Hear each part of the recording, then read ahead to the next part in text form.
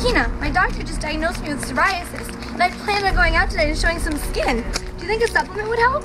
Maybe. Let's talk to the pharmacist about feverfew. Feverfew, under its Latin name, Tanacetum parthenium, may be used for a couple different common remedies.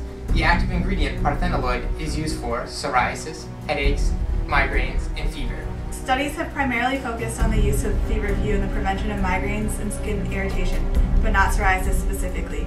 Supported evidence is based on the anti-inflammatory properties of feverfew, but more studies are needed to prove efficacy.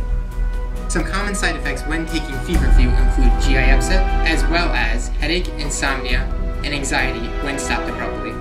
Patients should inform their pharmacist of any allergies, especially those in the ragweed family. Caution should be used if patients are pregnant or breastfeeding, as well as those taking morphine or other blood thinners. Feverfew is not FDA approved for treating skin diseases. Dietary supplement is not a replacement for prescription drug management. Talk to your pharmacist about all drugs and supplements you're taking and any questions you may have.